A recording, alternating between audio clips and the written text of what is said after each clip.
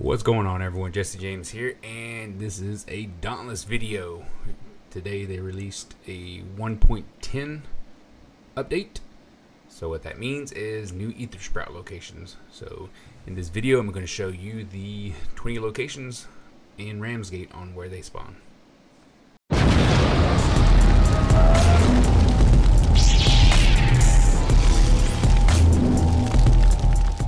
Hey, if you're not supporting a creator, I would appreciate your support. Just go ahead and type in Rollin Swollen on your supported creator and hit the accept button.